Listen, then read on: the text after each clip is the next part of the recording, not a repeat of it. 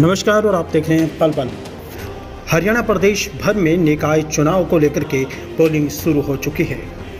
पूरा दिन बारिश का मौसम बना रहा। इसके बावजूद लोग सुबह सात बजे से ही पोलिंग बूथों पर पहुँच गए थे और लोगों ने अपनी स्वेच्छा से वोटिंग की।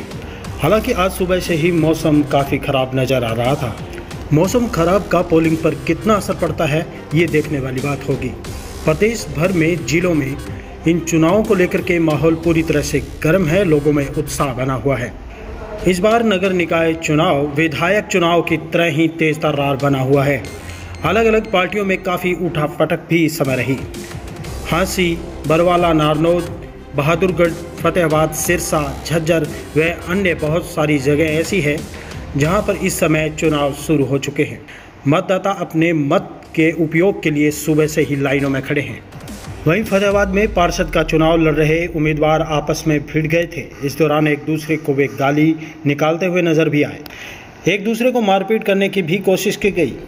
लेकिन इस बीच में लोगों ने बीच में पड़ करके इस मामले को छुड़वा दिया। मौके पर पुलिस भी पहुँच गई थी। बाद में मामला तुरंत शांत करवा दिया गया। अधिकारियों से पूछा गया तो उनका कहना था कि शहर में दोपहर तक मतदान करने वालों की संख्या में बढ़ोतरी हो सकती है। हालाँकि सुबह से कुछ जो बड़े लोग हैं वीआईपी लोग हैं, उन्होंने वोटिंग शुरू नहीं की थी। सभी पार्टियों में से भी कोई बड़े नेता वोट डालने के लिए नहीं आए। फ़िलहाल सिरसा के सांसद सुनीता दुग्गल का वोट भी फतेहाबाद के शक्ति नगर में है। उन्होंने भी खबर लिखे जाने तक वोट नहीं किया था।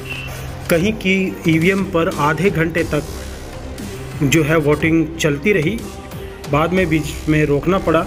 लोगों ने कई जगह आरोप लगाया कि ईवीएम खराब थी, कई जगह नहीं चल रही थी, इससे लोगों को काफ़ी परेशानी भी आई। इस तरह से जन स्वास्थ्य अभियांत्रिकी विभाग द्वारा बनाए गए एक बूथ नंबर 45 में भी ईवीएम में तकनीकी फॉल्ट आ गया था। टोहाना में भी इस दौरान थोड़ा मामला गर्म हो गया था। सिरसा में भी तीन निकायों पर मतदान शुरू किया गया था, जिसमें निन्यानवे बूथों पर मतदान शुरू हो चुका है। निकाय चुनाव की पूरी अपडेट लेकर आपके पास फिर से हाजिर होंगे। आप हमारे वीडियो को लाइव एवं सब्सक्राइब ज़रूर कीजिएगा। पल पल हरियाणा की खास रिपोर्ट।